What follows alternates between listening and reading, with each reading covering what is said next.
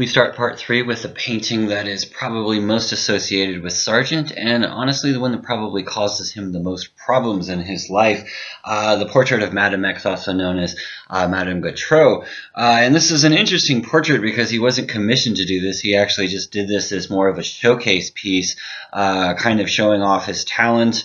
Uh, from my understanding, he wanted to kind of have this be like the calling card piece of his career uh, as a portrait artist, and it just turned out really badly for him. Uh, uh, the critics really slammed the painting uh, for many different reasons, but it, it, was just way too seductive. Uh, if you look at the straps on, on the painting, uh, those were actually much lower, and he actually painted them up.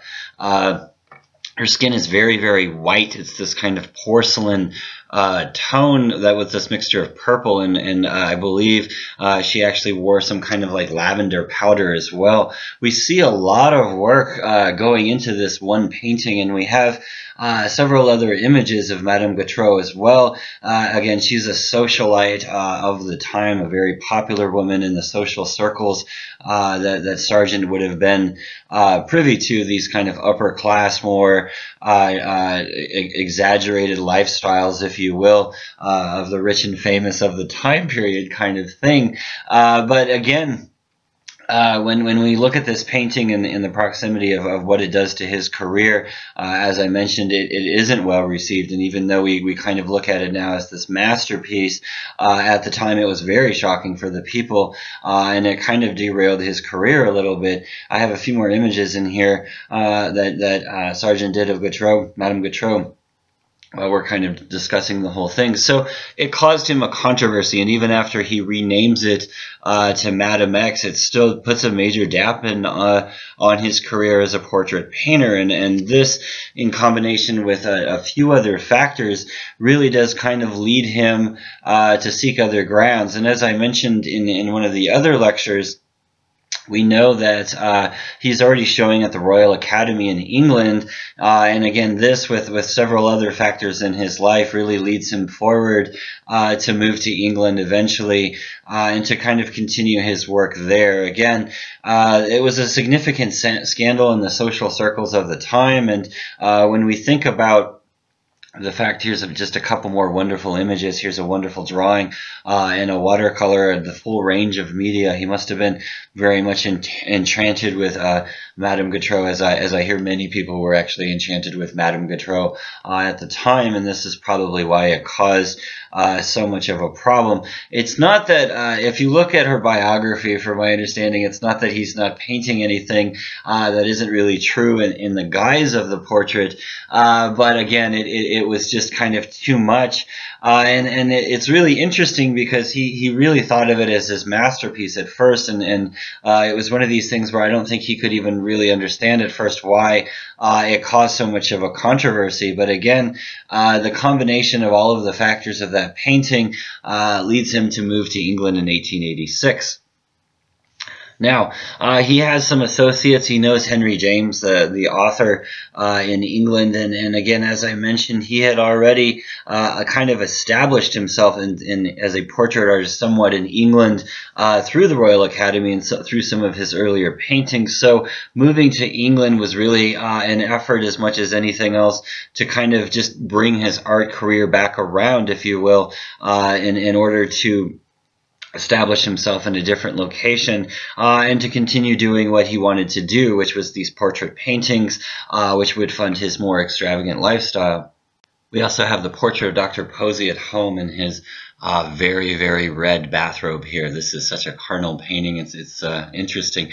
Uh, and it's also there in this time that he visits Claude Monet and again, when we think about uh, Claude Monet and, and, we think about Monet's work uh, and the other impressionist, again, this is 1885, so uh, this is this is pretty far down the road. I mentioned this before. He's he's close friends with some of the impressionists, even though his style in terms of his portrait painting is is kind of removed from that. Uh, and to me, when we look at his watercolors and a lot of his more personal work, uh, there is kind of this influence of uh, the impressionistic style. We we do see this kind of flair of the brushstroke and, and, and this type of thing. But uh, again, when we look at the biography of Sargent, uh, this is this has got to be kind of a period of uh, indecision and searching as much as anything else.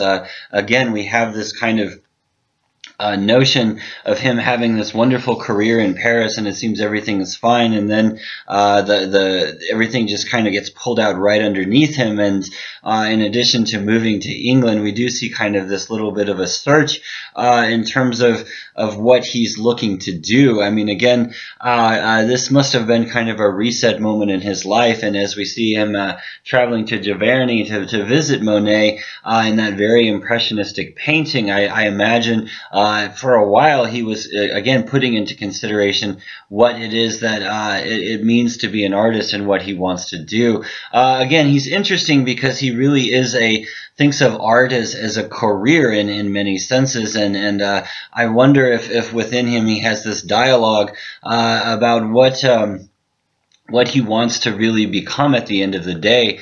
Uh, but we do see him returning uh, to portraiture work when he goes to England. We have uh, Sally Fairchild here again, uh, kind of this in and out of, of focus type of aspect of uh, portraiture. But again, we have this wonderful look on her face.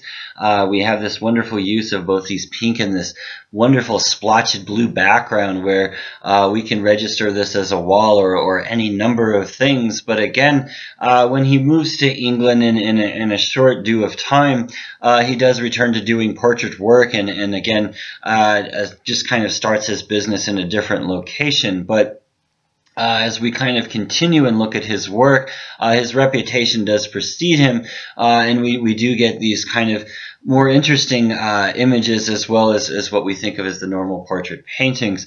Uh, again, this is another one of these wonderful watercolors uh, where where I imagine he's off on some jaunt with some of his close friends, and, and this is really just him relaxing and, and making art uh, for himself and for his own enjoyment. Um, again, he doesn't really pursue any type of financial gain by way of his watercolors. And in many ways uh, that's what makes them so enjoyable is when we look at them uh, they're free of, of that type of mental competition that uh, he ensues within himself with the other works where it, it is uh, this perfection that he's seeking with this. Uh, they are a lot more playful both in the posturing uh, and also in his handling of the material uh, Carnation Lily Lily Rose, uh, shown at the Royal Academy as it says purchased by the Tate. Uh, again, this is really his quintessential effort to get into the English genre, if you will. We have uh, these two two girls, and again, this influence of Japanese culture uh, can be seen through most of the art of the time. Uh, Sargent is, is absolutely no exception to the rule. Here we have these wonderfully lit uh, Japanese lanterns this is actually one of my favorite Sargent paintings uh, because of, of uh, again this this idea that we're kind of a, a, silent observer for the scene, but the flowers seem to overtake everything uh, with the height of these these little girls, and uh, it, it, it really just becomes a decorative element uh, within the work itself. In 1887 through 1888, we actually see Sargent returning uh, to America. Returning, actually, I don't, I don't believe he had actually been here before. Even though, again, he claims an American uh, citizenship by the way of his parents. But what we see him doing, uh, both in New York and Boston, is is very much kind of the same thing we saw in Paris and also in England. Him uh, uh, associating himself with the wealthier members uh, and getting these wonderful portraits done. And, and again, when we look at the uh, amazing number of portraits that he did of American artists, or excuse me, Americans uh, during this time period, he was only in America for a very short time, uh, but he creates an entire range of work uh, all centered around these artists. And of particular note, is how we actually look at uh, uh, how these women are portrayed, and, and I think that this is a wonderful comparison of uh, uh, his range when we look at these two women uh, in a very starkly different feeling that we get from them. A lot of it is almost characterized by the background color, where we have a portrait of Mrs. Adrian Iselin, this very very gray stone nature where you can see she's a stern woman. well, Mrs. George Gribble there on the right, she seems more like a socialite who is uh, very enjoyably having fun with her life. Uh, but again, the likeness is something that we cannot kind of uh, sidestep. When we look at uh, Sargent's work, he is a master of his craft, and just in terms of, of creating a likeness of an individual. Uh, one of my favorite paintings from his this period is, is Alice Vanderbilt Shepard, uh, again a, a, younger person. And when we look at uh, uh, his work, he has this amazing capacity of, of capturing uh, this inner essence of youth within these people. Again, uh, we see this stern or this this uh, strength within this young girl, but at the same time, she still has the whimsical nature, uh, uh, this faraway looking and, and, and careless or carefreeness rather uh, that one would associate with youth. Uh, again, a wonderful series of, of portrait paintings that he did uh, during his brief stay in America. And again, he does return to America later on in his life, and, and a lot of the work we see there is very interesting because he explores a lot of the country. Uh, but again, you can see kind of an evolution occurring uh, within his work. And when we look at Morning Walk from 1888, a beautiful painting, uh, not only in, in, in, terms of the figure itself and, and how he's created uh, this central central figure uh, with this delicacy, almost as if she's a flower growing uh, uh, up out of the, the, the, greenage around her, reflecting on this beautiful pond. it's as if he might have been looking at a Monet painting in the background when when he was actually painting this. But uh, again, the complexity of his work uh, can really not be understated. Uh, again, between uh, what he's able to do with the background to the portrait of the individual.